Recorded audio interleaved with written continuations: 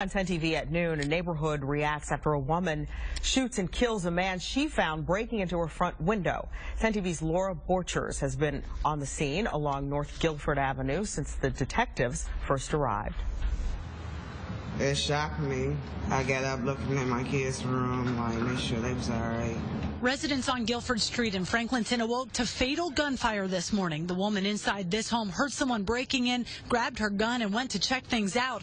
The intruder was just inside her busted out front window. And she uh, was armed and apparently fired multiple shots at him. Detectives tell me this whole thing actually began across the street. The burglar broke into the back door of this home, and when they found him upstairs, they chased him out a second story window. That burglary suspect is now dead. The woman's son tells me he just purchased the gun for her last week, concerned for her living alone in a neighborhood that has had some problems.